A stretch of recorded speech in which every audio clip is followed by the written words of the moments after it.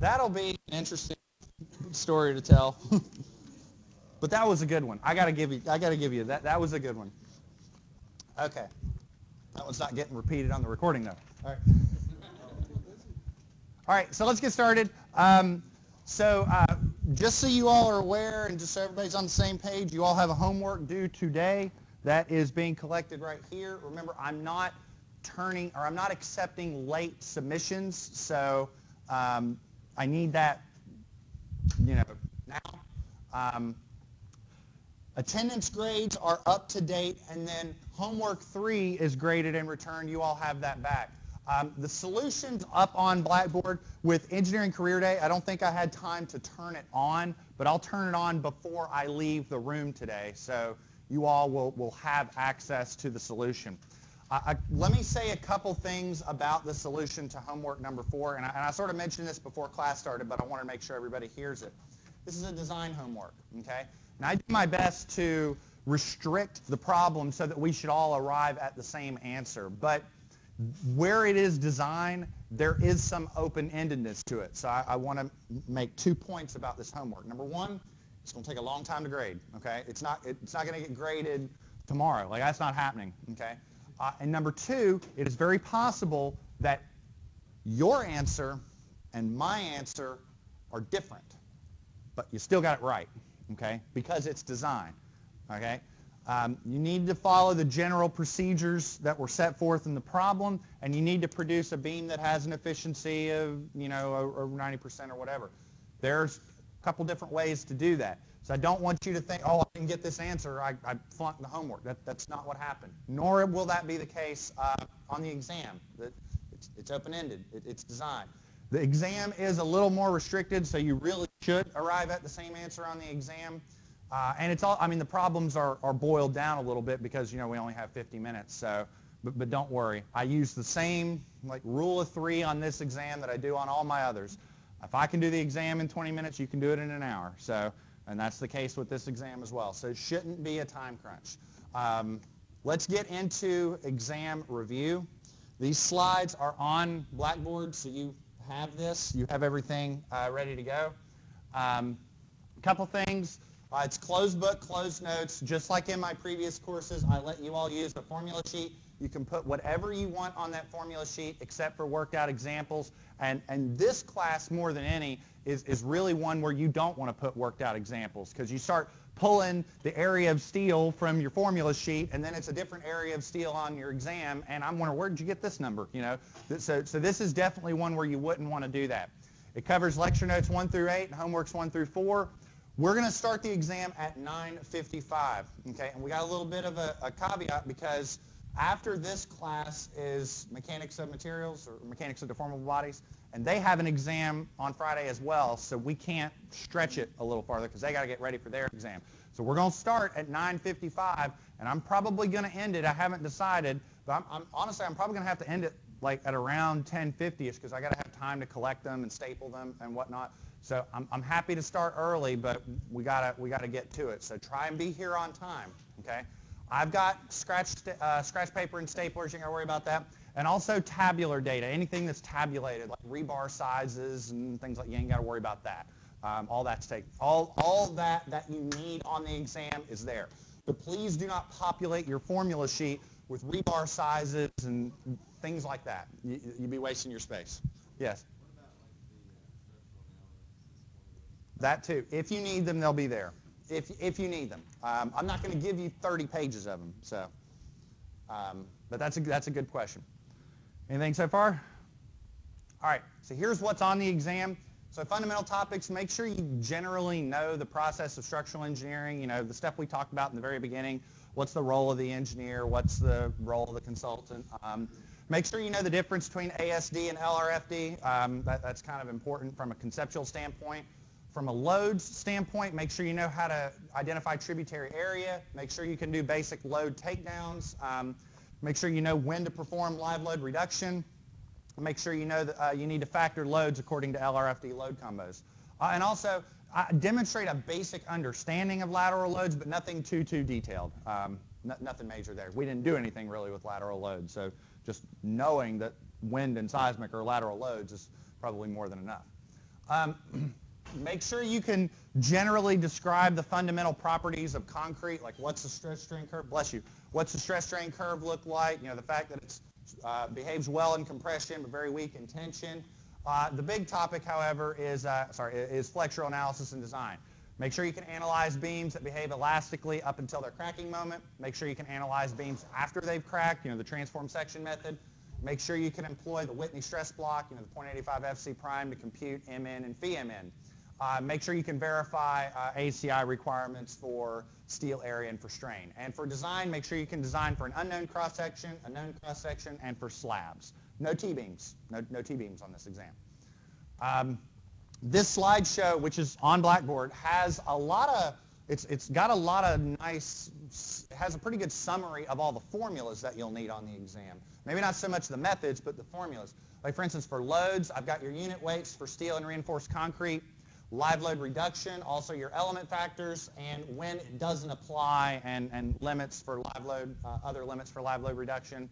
Your load combos, um, material properties, so here's how you calculate the modulus of elasticity. Uh, if it's any weight concrete or normal weight concrete, here's how you compute your modular ratio, your modulus of rupture.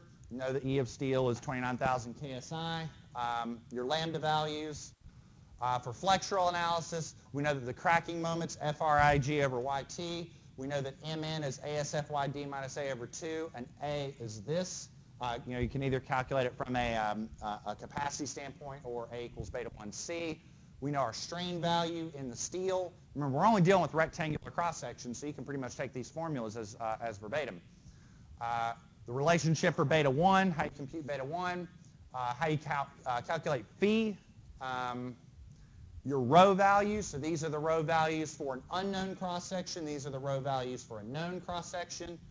Uh, here's your ACI requirements, and here's your slab reinforcement requirements. So that's pretty much everything from a formula standpoint in, in a nutshell, okay? You, then you. So these like past three slides, we'll need to put those on our sheet. Yeah. Yeah. And, and anything else you deem appropriate. Back to the side to beta one, is that table gonna be given? No, that's not going to be given. Yeah. But, I mean, it, there's nothing in that table that you couldn't sort of figure out on your own. I mean, that all this table is, is this. You know, at 4,000 it's 0.85 and then 0.8, you know, 0.75 or, you know, 0.7, 0.65. It's just, that's all this is. This is that. So you can represent that just with that line. Yes?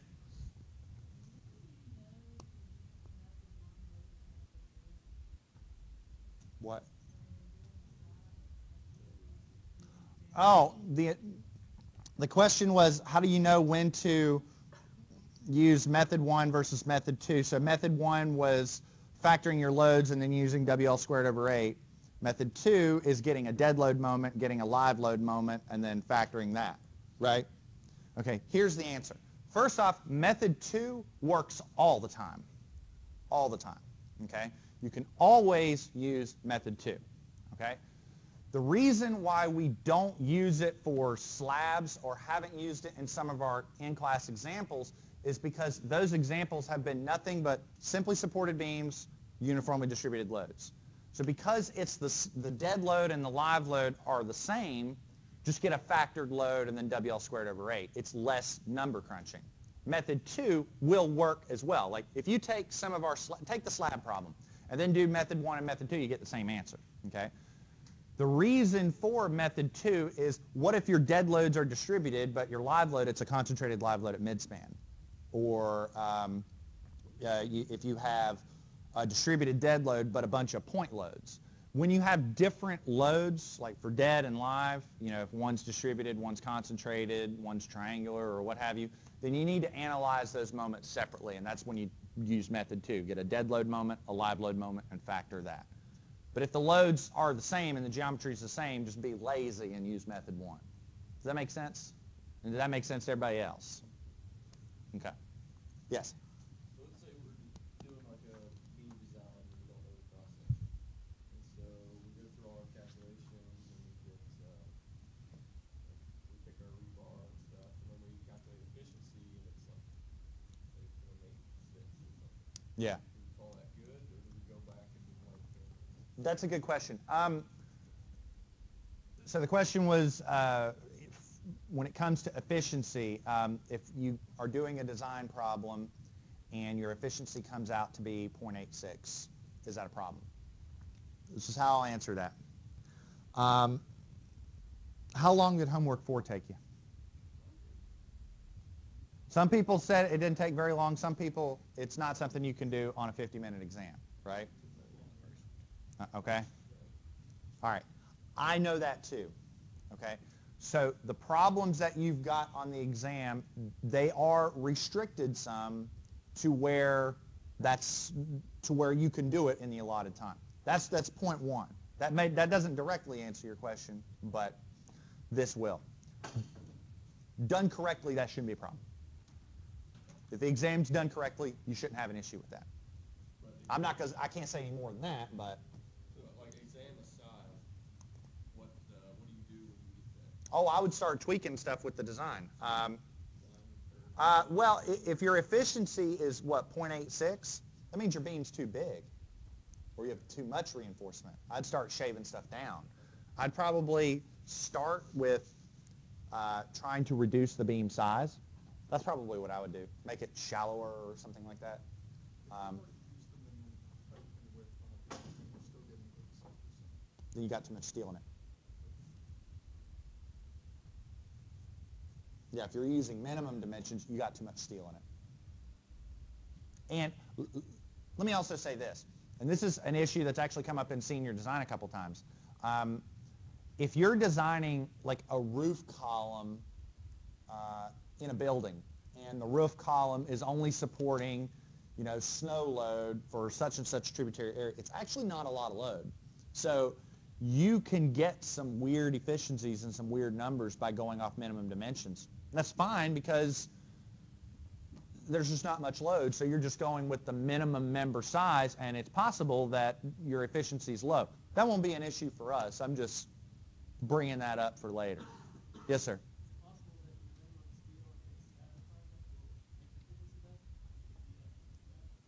Um, it's possible that your your ACI minimum steel requirements and your strain limits will cause your efficiency to go down, but only in scenarios where you really don't have a lot of load. I mean, if you look at the design problems we've been doing so far, the, the, the beams that we've been designing have got some pretty hefty loads. I mean, we're talking like live loads of two kips per foot or one, you know, one, I mean, that's 2,000 pounds per foot. I mean, think, that's a foot and that's 2,000 pounds. So that, that's, that's a lot of load. Um, in those issues or in, on your homework problems, you probably didn't have an issue at all with ACI minimum steel. You're probably putting in like six square inches of steel. I'm making these numbers up. You're probably putting in like six square inches of steel, and you look at your ACI minimum, and the minimum steel is like 0.8. You know, not not even not even close. Um, so, is it possible? Yeah, yeah, it's possible, but you'd have to have some really light loading. So, and I mean, you almost wonder if it's that light, like why are you even using concrete, you know? Go get you some, some 2 by 12s or something. I'm, I'm joking, but not really though. But yeah, does that answer your question? Um, floor is yours. That was not bad. The floor is yours, no pun intended. That- that's not bad. We are designing floor beams.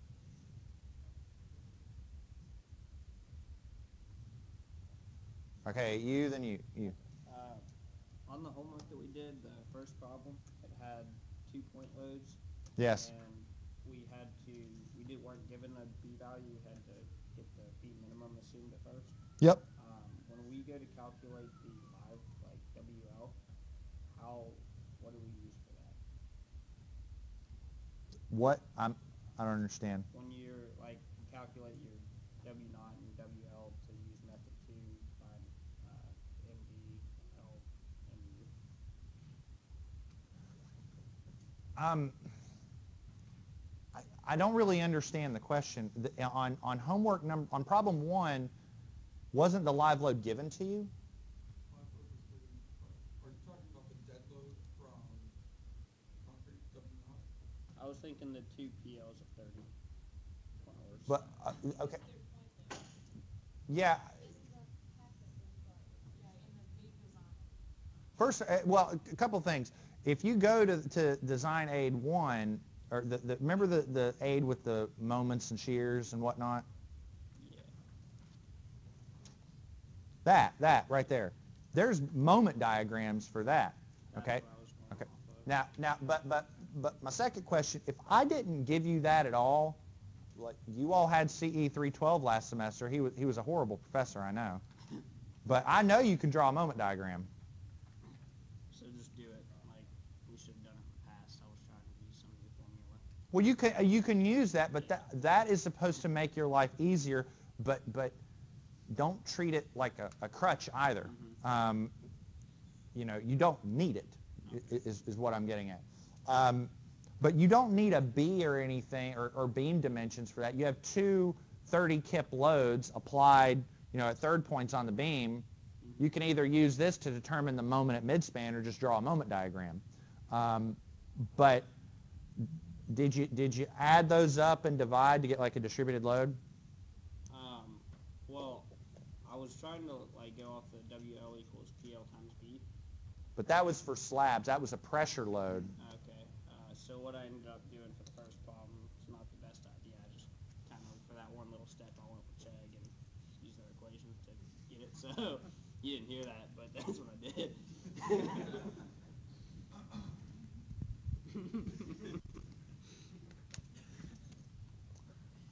You know that's not on the exam, right? yeah, I was hoping so. Oh, No. you're saying Chegg. Yeah. Oh, yeah, fully, fully aware of that. That's why I was asking the question. Oh, just wait till just just wait till homework five. Um, That's the only step. Come on. Did the rest by this.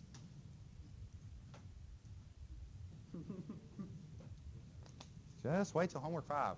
Uh, you, are you good?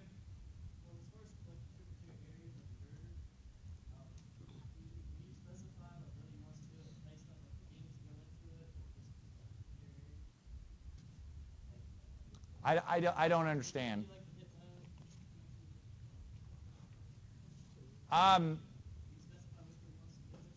I will. I, I, you'll know. You'll have specificity on that. Okay. But you also got to recognize it can't get too detailed. We don't have much time. So.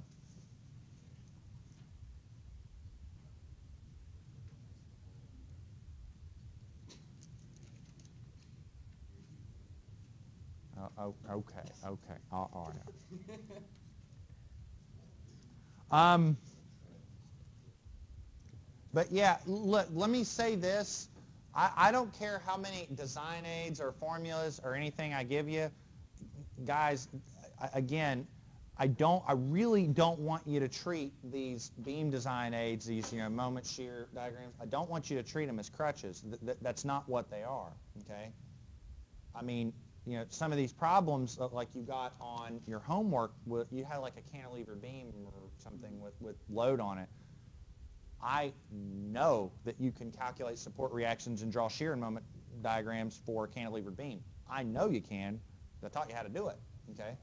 I now right there, this this is CE 413. The direct prerequisite of this class is CE 312. It assumes that you know how to do that stuff.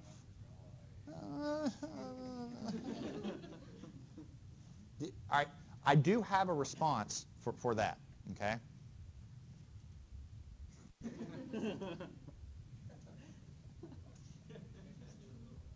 No, no, this one's got more, more a dramatic flair to it. You know, you can see it.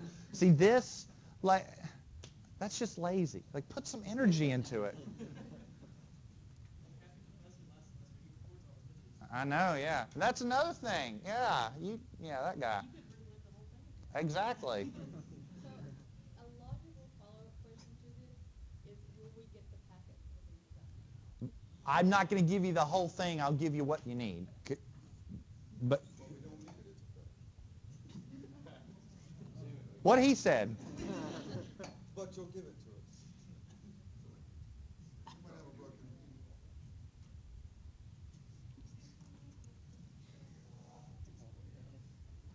Yes. When you use live load reduction, that, that's a great question. Okay, um, from an exam standpoint, I, I'll keep this answer simple. Use live load reduction when you're told to use live load reduction. Otherwise, uh, don't worry about it. And, and, I'm, and, I'm, and I'm telling you that because I don't want you to waste time on problem whatever three or whatever if if you're sitting there trying to do all this live reduction you don't even have enough information to do it and then you didn't have to worry about it anyway. So if it says to perform live load reduction like do it. Otherwise don't worry about it. Because it's just more stuff on the exam that you don't have to worry about. Pl- plus here's another thing. And, and, and hopefully, you know, th- this theme is, is, is held through in my, in my previous exams. I'm not a fan of asking the same thing over and over again. You know, this exam format is very similar to my previous exams. The first question's all conceptual-based stuff, and then two, three, and four are calculation-based problems. I don't want to, you know, let's say, for instance, I make you do live load reduction on problem two. I'm certainly not wanting you to do it on three and four because that's just the same thing over and over again. That you showed me you can do it once. The rest is just wasting your time. It's not evaluating your understanding of the material, so I'm, I'm not going to put it on there. Um, but uh, from an exam standpoint, unless it says to do it, don't. Okay. Now, in a reality standpoint, when you perform live load reduction, uh, the answer is pretty much always un- unless you don't meet the, the, the limits. And what I mean by that is this.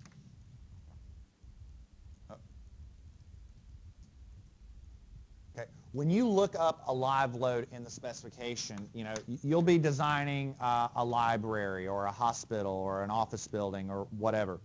Um, based on your design, you know, if you're designing a, a, a library, you look up the specified live load for a library and it's 150 pounds per square foot.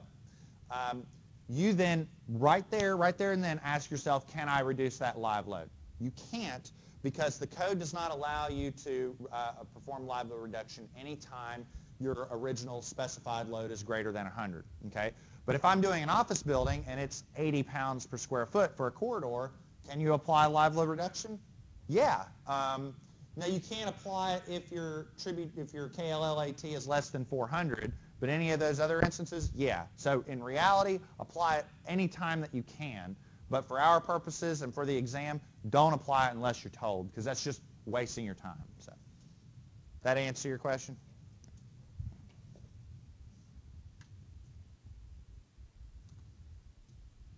Again, floor is yours. Anything worrying you about the exam? Anything worrying? Anybody worrying? Are they worried? I guess I have to wait. I, I mean, they could join us. Put them on speakerphone. FaceTime. Yeah, Leo's You just have any answering your questions phone on about speaker. design? It's not the best. We're all interested. In my life experience, that's the best option. Oh, it, it, I mean, like, we could mess with him. We, we- like, uh, you know, we could say, he's taking a test right now. You know, he's in class. I'm about, I'm about to fail him for academic dishonesty. You know. I'm sorry. That would be messed up. I'm sorry. I was curious to see. I'm sorry, man. just put it on me. He's not risking it again. I'm not risking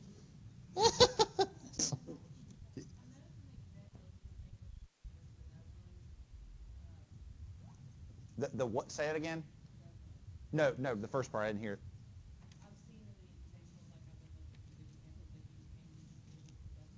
I've Well, no. No, well, the only dead load, the only load that you would have to determine is self-weight. I mean, uh, I I guess if we want to be general, there's three different force effects that we could consider on, on a beam. There's a live load, then there's dead load, and then self-weight. I mean, we factor self-weight as if it's dead load because it is. It, it's permanent load that's not going anywhere. But self-weight is something that you would that you could compute as opposed to what's being given to you.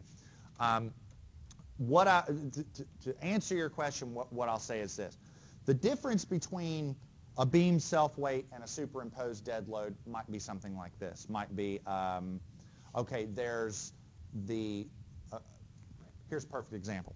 Okay, let's say there's a beam running right here. Okay, so there's the beam self weight, but another dead load is the wall up there. You know, the wall from the other shore. So that is a permanent load that's not going anywhere. That's just sitting right there on that beam. So that would be a superimposed dead load, and and not how you would compute it is the same way you'd compute anything. You know, it's a wall. It's this thick. It's made of this material.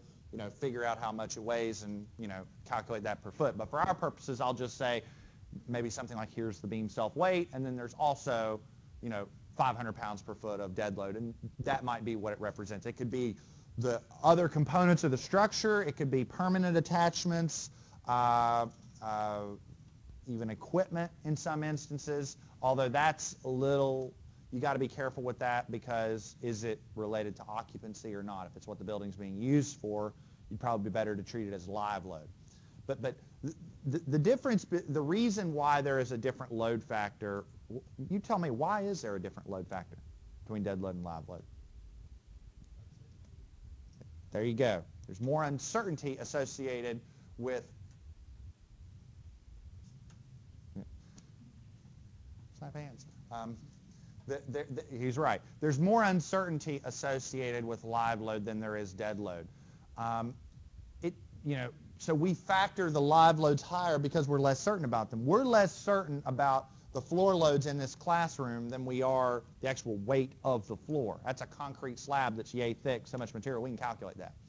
Um, so that's sort of the difference. I know I got a little windy with that answer, but did that kind of answer your question? Yeah, I'm just saying like when we calculated like the self weight for this year, but then we also calculated the, oh, the live load by taking the load multiplied by the distance. Okay, that okay. Now that's for a slab. Yeah. Um, Will, like, will our WCD be given or will we have to calculate? it's possible. No, that's a good. Okay, that's a great question. It's possible. Um, but How, would you just go about it the same way that you did the live load? exactly, exactly right. Because it's just a pressure load applied over that width. You know, so it's, it's the same thing. Yeah. Good question.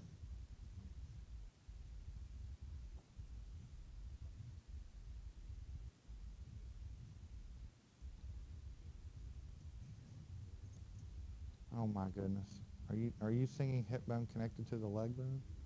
Oh my. This is not biology. You're not in an A and P course. Anatomy and physiology. I, I don't think anybody in here has. Thought it like changed from nursing or anything, did you? It,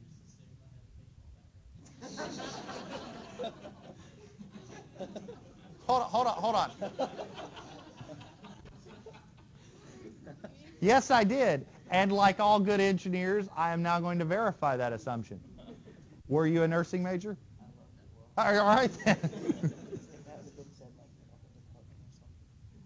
oh God. Like the only phone we can really name at this point is the lit phone.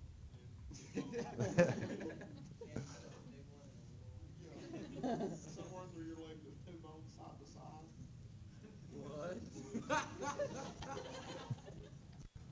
He's talking about like here, here, and here. It's like there's two bones in your leg. Well, at, at the very least, there's one here, so there's one here, because.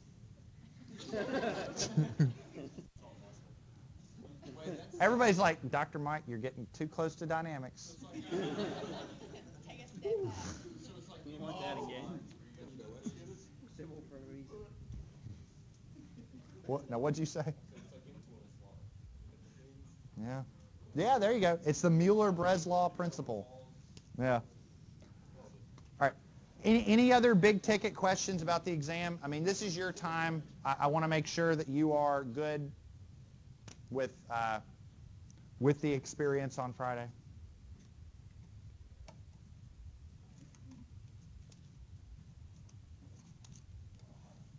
Y'all just seem zapped.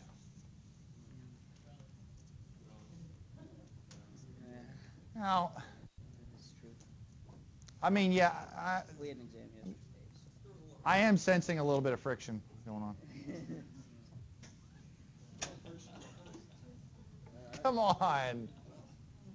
Come on. The secret with that stuff is to just not lose your head. Like, That's why you got that one bone thing. hydraulics, hydraulics, lose your head. I got it now. Man, it's, A flow rate. all right, all right, all right, all right, all right. Are there, in all seriousness, are, are there any other big ticket questions? Anything you're worried about on the exam? Anything that's concerning you? All right, hold on. Two things. First off, you good? You good? Here's the thing. We have to stay until you shake your head yes. They're going to be upset at you. Yeah, okay.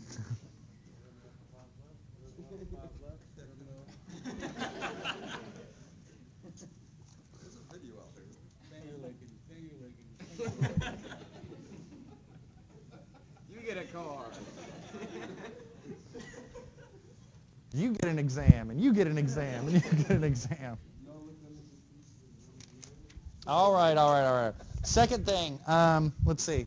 That's yours, and that's yours. Okay. When are we showing up on Friday?